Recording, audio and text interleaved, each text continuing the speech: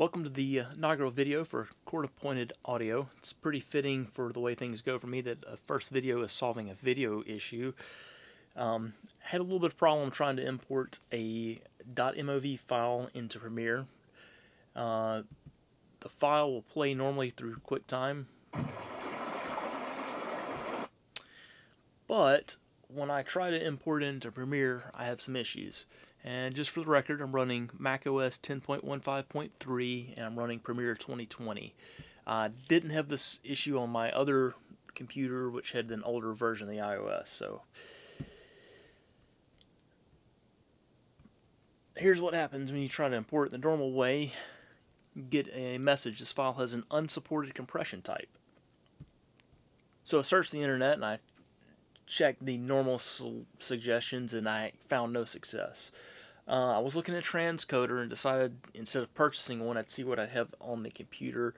I tried uh, Adobe's Media Encoder. Uh, I didn't have any success with that either, so I moved on to iMovie. So,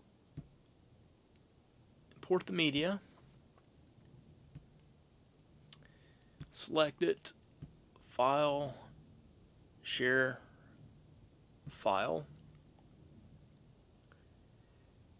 go for better quality, and put a rev number in there, and I'll export it.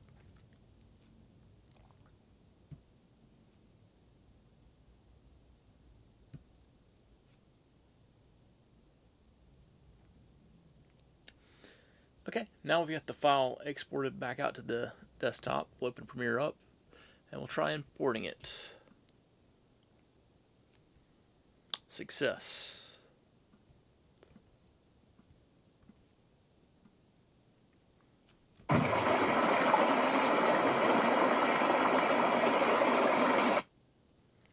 Alright, so I hope you found that helpful for the little workaround that'll maybe save you some time.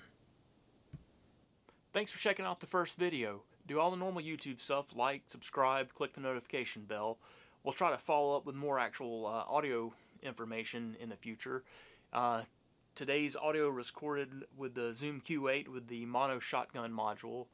Um, I'll include a picture of the rig. I used it with the uh, USB mic setting for QuickTime recording for the screen overdubs. Thanks.